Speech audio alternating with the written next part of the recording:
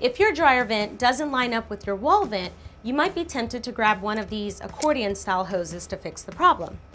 But instead, I urge you to reconsider getting one of these. This is an offset dryer vent. And unlike this, this is UL listed and it's not a fire hazard. So let's see how this bad boy works.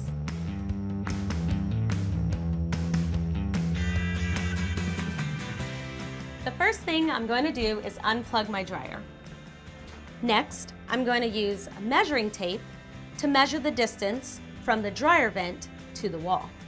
Once I have that distance identified, now it's time to take the measuring tape and mark that distance against the adjustable dryer vent. Once you have your dryer pulled out, attach your offset vent using the hose clamp to the dryer outlet. Don't forget to tighten the hose clamp nice and snug. Slide another hose clamp over the wall vent pipe. Now, slide the dryer into place. It may take some finagling, but with some elbow grease, it shouldn't take too long. Once you're aligned, tighten the last hose clamp. Now it's time to plug it in and try it out.